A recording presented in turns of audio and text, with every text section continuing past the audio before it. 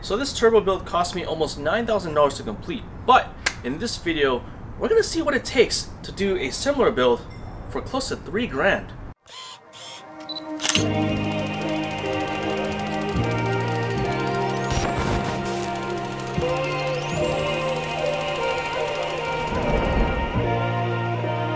So what if you like to live life on the edge and half-ass a build?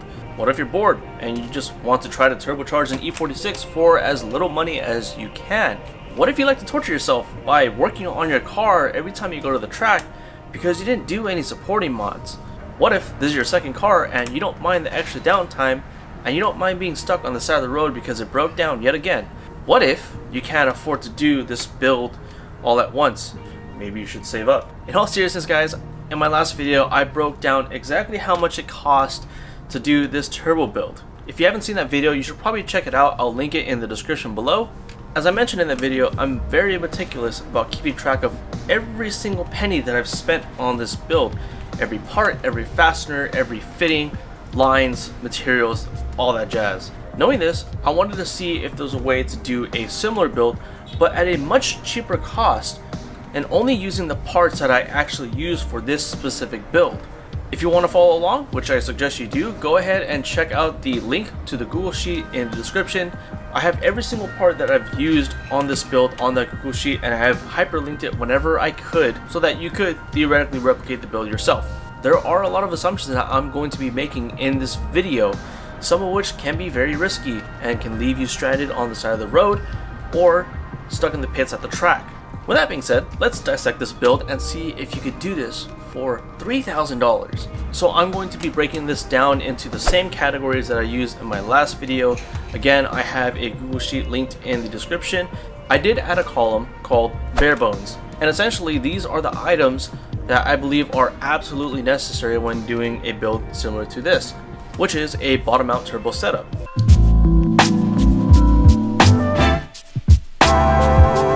So starting off with engine and transmission, I estimated that you can do essentially the same thing that I did for $210, which is quite a bit different compared to what I actually spent on this build at $3,800. Now bear in mind for my build, I had to source another engine and transmission, I put in an expensive clutch, a catch can, an M50 manifold, an oil pump nut solution, and an oil pan baffle. So for my bare bones setup, I only have a modified motor mount and a SAP delete. The engine and transmission, uh, ideally you probably have a car that already has an engine and transmission so that's not going to be an expense. Hopefully it's also a 328 or 330 model because those come with the better transmission. I'm not so much worried about the motor, I'm more worried about the transmission. I'm also assuming that you have a decent performing clutch in there. Now I'm not saying that you're going to be able to hold 400 wheel torque but let's say you're on low boost like I am, maybe your stock clutch could do for the meantime. Same can be said about the bushings and the oil pump nut.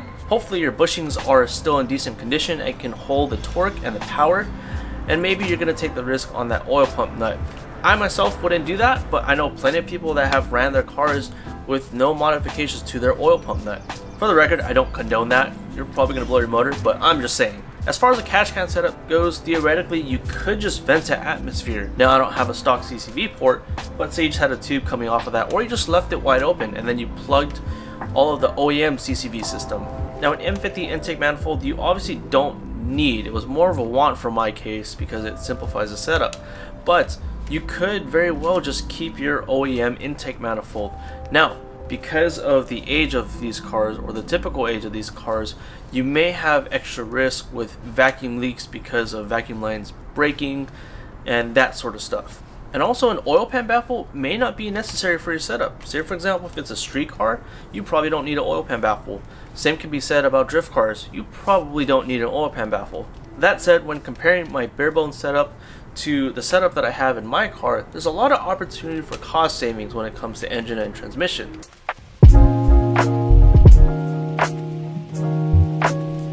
Now as far as maintenance and refresh goes, we're going to assume that you're going to go full risk and full send and just do no maintenance to the car and address it as necessary. Obviously I can't stress this enough.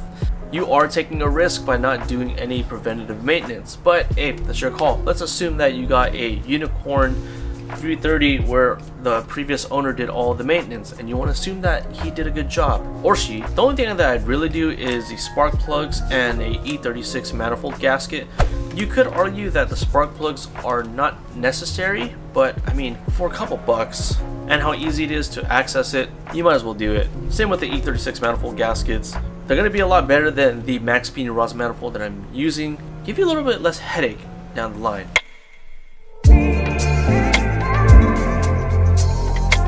Now as far as the turbo exhaust side, not much is different here at $843. The only thing that I really changed between my setup and a barebone setup is I didn't do any of the recirculated wastegate stuff so you could save on a flex pipe, some of the tubing that's involved with it, and one less flange. So for this case you're still going to be keeping the same manifold, turbo, wastegate, wastegate piping, fittings, and exhaust material.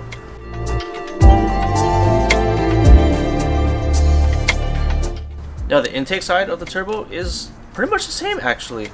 At $454, you're not saving much compared to the 519 that I've spent on my setup. The only thing that's really changed is I took out the gold reflective tape for the hot side intercooler piping as well as the boost control solenoid which I'm not even running on this car and of course no blow off valve which is actually the same as this car so the cost difference is actually less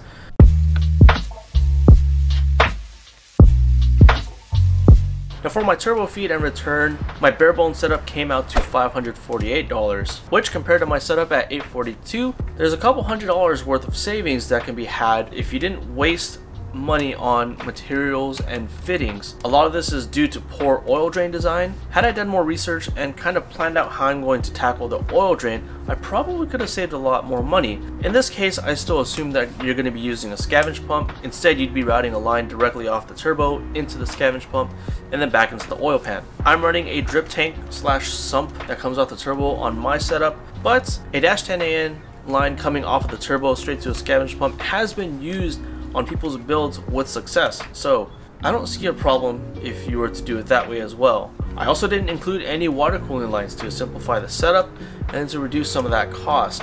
I know some people will argue that if the turbo is designed for water cooling, then you should probably route the lines. On the flip side, I have seen people run these turbos without water cooling. From what I understand, water cooling is typically for when the engine is shut off so that you don't bake the oil in the turbo. But if you kind of just let the car cool down after a nice drive, then theoretically you should be fine. Now theoretically, you could save a couple hundred more dollars by ditching a scavenge pump, but it seems like the success rate for a bottom mount turbo without a scavenge pump is kind of low. So keep that in mind. You'd probably be good without a scavenge pump for a better manifold, but in this video I'm only using the parts that I have used on this build.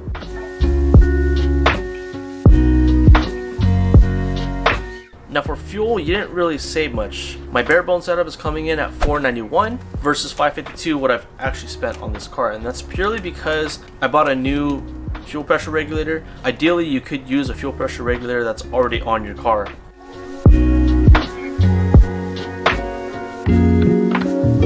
For electronics, the bare bones isn't much different than my actual at 692 compared to 702.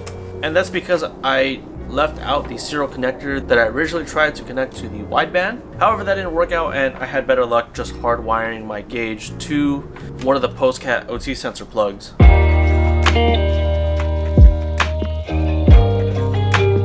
And then last but not least, cooling. We're going full send. We're not going to touch the cooling system at all. And taking that full risk, hopefully you got lucky and you bought a car where the previous owner replaced the entire cooling system beforehand. So if you really wanted to try to save as much money as you can on a build like this, you could theoretically have a turbo setup for $3,301.96. Now I did constrain myself to the parts that I have used on this build. I'm sure there are ways that you can cut cost and possibly get a build for under $3,000. Now unfortunately by building this way you are taking on a lot of risk. By running the stock clutch, you may end up not being able to hold the power that you're making with the turbo setup. Worst case scenario, you could end up grenading that clutch and that might mess up your input shaft or your transmission. By not refreshing and upgrading your cooling system, you could end up overheating your motor, which for these aluminum straight sixes usually ends up with a warped head and unfortunately a large bill at your local machine shop or even a new motor altogether. By not addressing the oil pump nut, you're obviously taking a big risk there. You could end up losing oil pressure without even knowing it, and then you end up with a spun bearing. Now most people do run the stock intake manifold, but you may end up with a bunch of headaches trying to chase down vacuum leaks. By not running a proper catch can setup, you could have some issues there. If you vent to atmosphere without a catch can, you could end up dumping oil on the floor. Definitely don't want that. That said, this video is purely theoretical. It is by no means a roadmap to doing a turbo build as cheap as possible. If you want to see the actual cost of this turbo build, go ahead and check out the video linked in the description. With that said, that is it for this video guys. I hope you enjoyed, and I will catch you in the next one.